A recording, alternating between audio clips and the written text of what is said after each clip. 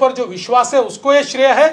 और साथ साथ हमारे राष्ट्रीय अध्यक्ष जगत प्रकाश नड्डा जी और हमारे मास्टर स्ट्रेटेजिस्ट और देश के गृह मंत्री अमित भाई शाह, इनको भी ये श्रेय जाता है।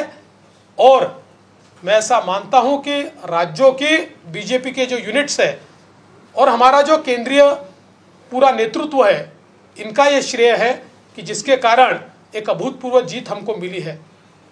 इस जीत का हम जब विश्लेषण करते हैं तो ध्यान में आता है कि बीजेपी के वोट्स, ये 10 प्रतिशत से भी ज़्यादा यहाँ पर एवरेज में बढ़े हैं।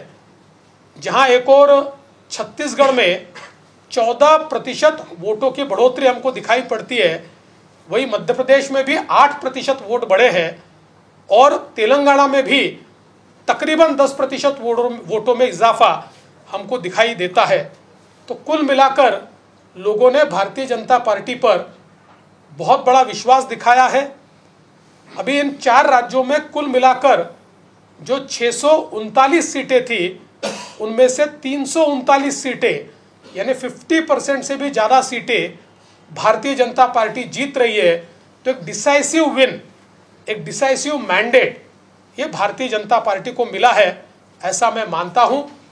लोगों ने जो इंडी अलायंस तैयार हुआ था, उसको सिरे से नकार दिया है और जिस प्रकार की राजनीति राहुल गांधी कर रहे थे और रेवड़िया बांटने का काम कर रहे थे और जिस प्रकार के आश्वासन वो दे रहे थे, लोगों ने मोदी जी की गारंटी को स्वीकारा है और राहुल गांधी की झूठी गारंटी को सिरे से नकार दिया है, ये इसमें से ध्यान में आता है।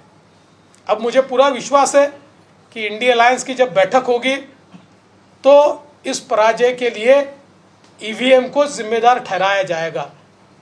मुझे ऐसा लगता है कि ईवीएम को जिम्मेदार ठहराने की जगह अगर आत्मावलोकन वो लोग करेंगे तो उनके ध्यान में आएगा कि ये जीत केवल पारदर्शी प्रामाणिकता की मोदी जी के नेतृत्व की जीत है। देवेंद्र जी, चार राज्यों में जो चुनाव हुआ, कहीं पे भी मुख्यमंत्री का चेहरा नहीं था तो क्या लग रहा है कि चारों राज्यों में नरेंद्र मोदी चेहरा थे इस पर लोगों ने वोटिंग की। और आपने कुछ समय पहले पहले कहा था कि महिलाएँ डिसाइडिंग फैक्टर रहेंगी। तो कितना लग रहा है आपने हर राज्यों में जाकर प्रचार किया था? तो महिलाएँ कितनी डिसाइडिंग फैक्टर थी?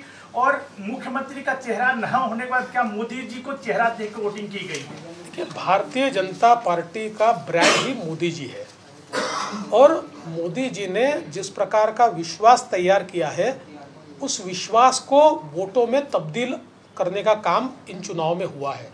इसलिए मैं ये मानता हूँ कि निश्चित रूप से लोगों ने मोदी जी की ओर देखकर भारतीय जनता पार्टी को वोट दिया है और आगे भी लोग मोदी जी की ओर देखकर ही भारतीय जनता पार्टी को वोट देते हैं। महिलाओं देखिए अभी तो इसका विश्लेषण होगा लेकिन अगर हम इनिशियल इंडिकेटर्स देखें चाहे वो महिला हो चाहे वो ओबीसी हो चाहे वो पिछड़े हो चाहे वो आदिवासी हो सभी ने या अनुसूचित जाति के लोगों सभी ने बढ़ चढ़कर बीजेपी को वोट दिया है ये ध्यान में आ रहा है। काँग्रेसने पनवतीचा एक ट्रेंड सुरू केला शेवटच्या टप्प्यामध्ये त्याच्यावर काय म्हणणं या निवडणुकीतून काँग्रेसच्या लक्षात आलं असेल नेमकी पणवती कोण आहे?